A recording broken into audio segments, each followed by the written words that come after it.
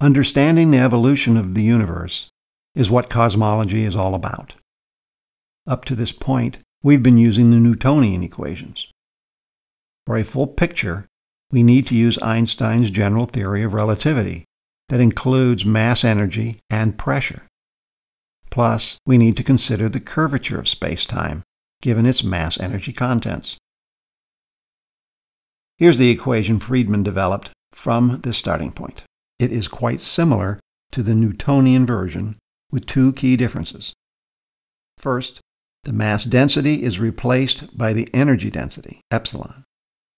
And second, the total energy is replaced by the radius of curvature and the curvature constant that equals minus 1, 0, or plus 1 that tells us which metric to use depending on the nature of the curvature.